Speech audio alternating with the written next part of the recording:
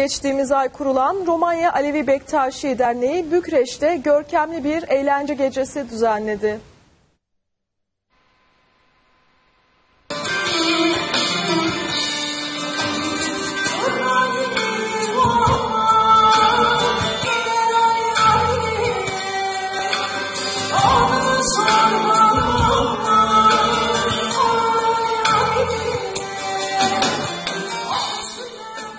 Alevi Bektaşi Derneği'nden görkemli gece. Geçtiğimiz ay kurulan Romanya Alevi Bektaşi Derneği, Bükreş'te görkemli bir eğlence gecesi düzenledi. Bükreş Büyükelçiliği Müsteşarı Evren Güner'in katılımıyla gerçekleşen geceye 200 aşkın kişi katıldı.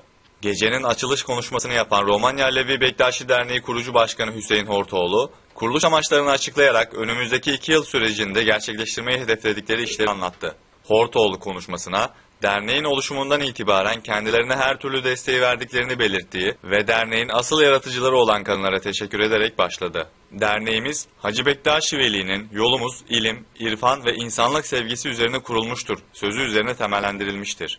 Bu yol üzerinde devam edeceğiz diyen Hortoğlu, Hacı Bektaşi Veli felsefesiyle ilgili kısa izahatte bulunurken şöyle dedi. İnancımız karanlıklar içerisinde Anadolu'yu hatta dünyayı aydınlatmaya çalışan aşk yanan mum ışığı gibidir. Işığımız gerici ve karanlık güçler tarafından söndürülmeye çalışılsa da dillerinde aşk ve insanlık sevgisi düşmeyen ve eksik olmayan önderlerimiz Hallacı Mansur gibi dara çekilse de Nesimi gibi derisi yüzülse de aşk ateşimizin söndürülmesi mümkün değildir. Çünkü aşk tüm kainatın ve varlığın temelidir.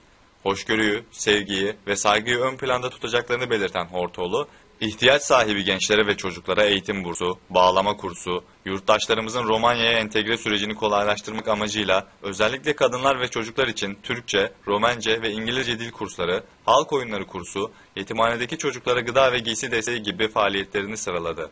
Hüseyin Hortoğlu konuşmasını Hacı Bektaş Veli'nin sevgi muhabbet kaynar yanan ocağımızda, bülbüller şevke gelir gül açar bağımızda, hırslar kinler yok olur aşkla meydanımızda, arslanlarla ceylanlar dosttur kucağımızda sözleriyle tamamladı. Gecenin açılışında konuşan Bükreş Büyükelçiliği Müsteşarı Sait Evren Güner de derneğin kurucularını tebrik ederek başladığı konuşmasında Orta Asya'dan Balkanlara kadar uzanan Hacı Bektaş Veli anlayışının üzerinde durdu.